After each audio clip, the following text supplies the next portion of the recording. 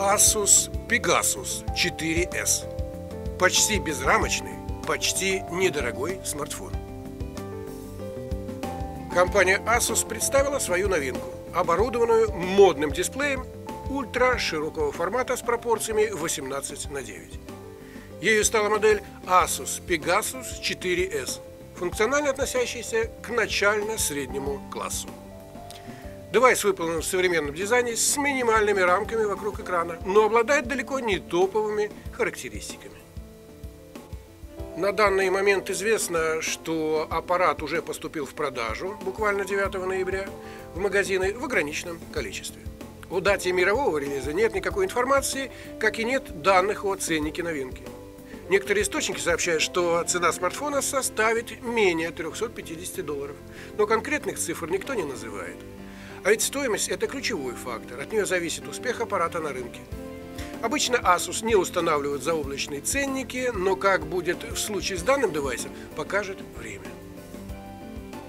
Итак, давайте разберемся с внешностью и материалами Asus Pegasus 4S.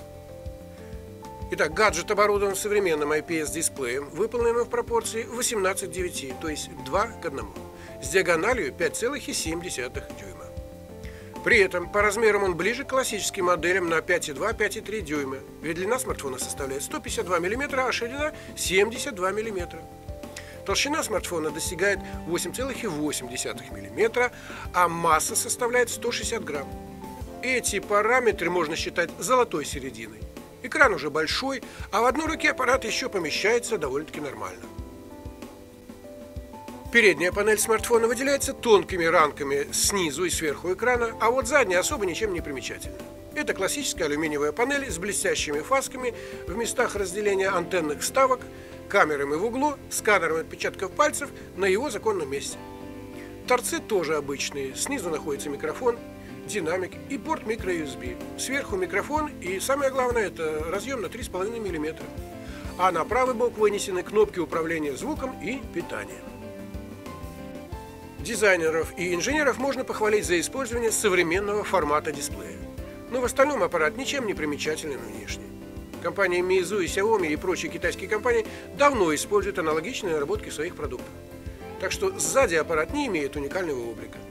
Однако это не значит, что он плохой. Просто дизайн не уникальный, не запоминающийся. Итак, идем дальше, рассматриваем характеристики Asus Pegasus 4S плане характеристик у Asus Pegasus 4S тоже нет ничего выдающегося. Экран, нормальный экран. Он широкоформатный, большой, э, но имеет разрешение HD 1440 на 720. Это нормально. Apple и в 2017 году не стесняется ставить э, логотип HD в девайсах за 800 баксов. Но хотелось бы чего-то побольше. Ведь китайцы нас разбаловали, и Full HD даже в бюджетниках уже воспринимается как нечто, нечто обыденное. Чипсет смартфона Mediatek MT6750T. Это упрощенная версия Helio P10. Его 8 ядер работают на частотах до 1,5 ГГц, а обработкой графики занимается GPU Mali T860MP2. Не самый свежий чип, да и по части энергоэффективности он не впечатляет, но в целом все сносно. Оперативной памяти на борту 3 или 4 гигабайта, а накопитель вмещает 32 или 64 гигабайта. Очень хотелось бы, что, чтобы предполагаемый ценник касался старшей версии, так как 350 баксов за младшую модель это уже в принципе как бы перебор. Емкость аккумулятора радует, она тут составляет 4030 мАч. Конечно, из-за староватого чипсета Asus Pegasus 4s вряд ли попадет в топ долгоживущих смартфонов, но и пасти задних он не должен, ведь тот же Meizu M5 Note со схожим железом показывает весьма неплохую автономность. О наличии или отсутствии быстрой зарядки не сообщается, так что, вероятно, таковой не будет. Основная камера смартфона сдвоенная – Главный модуль базируется на 16-мегапиксельной матрице, а вспомогательный имеет разрешение 8 мегапикселей. О других параметрах камер, как э, и о характеристиках и их взаимодействия информации пока нет. Спереди установлена неплохая фронталка на 8 мегапикселей, так что любители селфи могут порадоваться. По части связи все вполне стандартно для, для 2017 года. А, есть поддержка всех актуальных стандартов, в том числе и CDMA и LTE, но о частотных наборах данных нет. Они зависят от регионов, где аппарат будет официально продаваться. Если европейского релиза не будет, то Band 20 ждать не стоит. Имеется Wi-Fi, Bluetooth, но NFC наверняка нет. Ну и заключение, общий вывод.